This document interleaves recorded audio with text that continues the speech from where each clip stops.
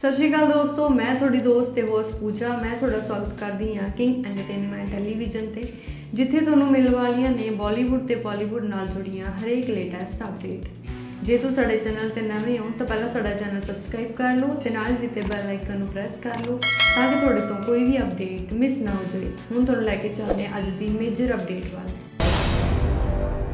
ਇਹ ਅਪਡੇਟ ਸਾਨੂੰ ਦਿੱਤੀ ਗਈ ਪੰਜਾਬੀ ਸਿੰਗਰ ਰਾਜਾ ਰਾਜਪੁਰੀਆ ਵੱਲੋਂ ਜਿਨ੍ਹਾਂ ਨੇ ਆਪਣਾ Song ਅਨਾਉਂਸ ਕੀਤਾ ਹੈ ਜਿਸ ਦਾ ਟਾਈਟਲ ਹੈ ਰਹਿਮਤ। ਜੇ ਆਪਾਂ ਕ੍ਰੈਡਿਟਸ ਦੀ ਗੱਲ ਕਰੀਏ ਤਾਂ ਇਹ Song ਨੂੰ ਗਾਇਆ ਗਿਆ ਹੈ। ਰਾਜਾ ਰਾਜਪੁਰੀਆ ਵੱਲੋਂ ਲਿਰਿਕਸ ਦਿੱਤੇ ਗਏ ਨੇ। ਈਸ਼ਾਨ ਲਾਡੀ ਵੱਲੋਂ ਮਿਊਜ਼ਿਕ ਦਿੱਤਾ ਗਿਆ ਸੁਰਿੰਦਰ ਜੋਗੀਆ ਵੱਲੋਂ ਪ੍ਰੋਡਿਊਸ ਕੀਤਾ ਗਿਆ ਹੈ। ਸਤਪਾਲ ਕਟਾਰੀਆ ਵੱਲੋਂ ਵੀਡੀਓ ਤਿਆਰ ਕੀਤੀ ਗਈ ਹੈ। ਡਾਇਰੈਕਟਰ ਦੀਪਕ ਕਸ਼ਯਪ ਐਂਡ ਵਿੱਕੀ ਦੀਪ ਵੱਲੋਂ ਪ੍ਰੋਜੈਕਟ ਕੀਤਾ ਗਿਆ ਹੈ।